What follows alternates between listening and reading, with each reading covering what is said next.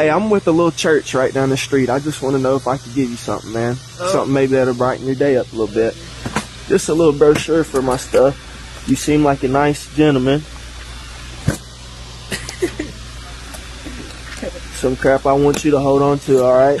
And maybe come see us sometime at the church. Sounds good. Keep working on your crap. It's a technique church. All right. All right, so the more you work, the more benefits you get. Alright, we'll give you crap. We'll give you all types of shit, free shit. All right. All right, You dog. take. Yep, take it easy, man.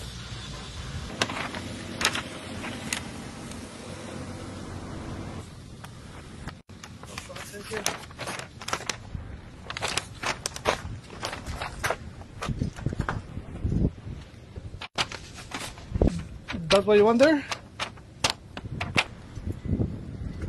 Painted?